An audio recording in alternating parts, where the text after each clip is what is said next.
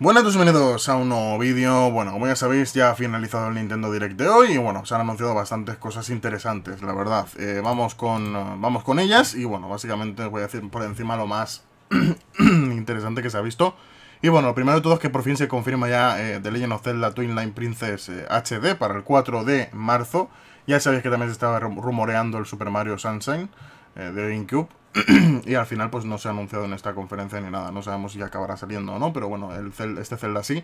Y además pues contará con una, un amiibo eh, de, lanzamiento. Es un juego, como digo, pues mucha gente pedía y al final pues eh, va a estar en Wii U. Luego Fast Racing Neo saldrá el mes que viene. Ya por fin se concreta un poco la fecha de lanzamiento y va a ser un juego eh, muy parecido al F0, mola bastante. Luego también Pokémon rojo, azul y amarillo llegarán a la 3DS para la consola virtual el 27 de febrero. Star Fox 0 ya concreta también el mes de lanzamiento, que será en el mes de abril. Y eh, se ha confirmado también eh, Cloud para Super Smash Bros. Lo cual pues nadie esperaba. Yo no, por lo menos no lo esperaba. Y me ha parecido una auténtica pasada. Tendréis los vídeos y los trailers de todas las cosas que os he estado diciendo y demás. Para que le echéis un ojo.